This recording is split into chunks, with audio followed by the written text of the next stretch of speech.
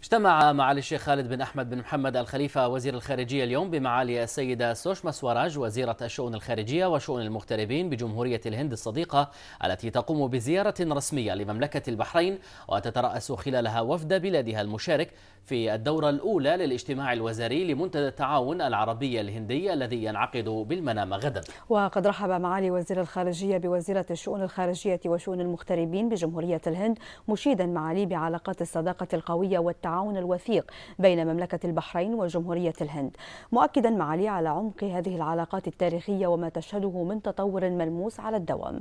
ونوه معالي وزير الخارجية باستمرار تبادل الزيارات بين كبار مسؤولي البلدين وما تحقق تحققه من نتائج مهمة تدفع بالعلاقات الثنائية المشتركة بخطوات كبيرة للأمام على كافة المستويات. وأثنى معالي وزير الخارجية على الجهود الإيجابية التي تقوم بها الجالية الهندية في مملكة البحرين وإسهاماتها في عملية البناء والتنمية مؤكدا معالي حرص مملكة البحرين على الارتقاء بالعلاقات الثنائية بين البلدين الصديقين نحو آفاق أرحب وتعزيز التعاون المشترك في شتى المجالات. من جانبها أعربت معالي السيدة سوشاما سوراج عن سعادتها بالتواجد في مملكة البحرين وعن شكرها وتقديرها لما تحظى به الجالية الهندية في المملكة من رعاية واهتمام مشيدة بما تحققه المملكة من تقدم وتطور في كافة المجالات ما جعلها نموذجا تنمويا وديمقراطيا يحتذى به على الصعيدين الإقليمي والدولي مؤكدة حرص جمهورية الهند على دعم التعاون مع مملكة البحرين.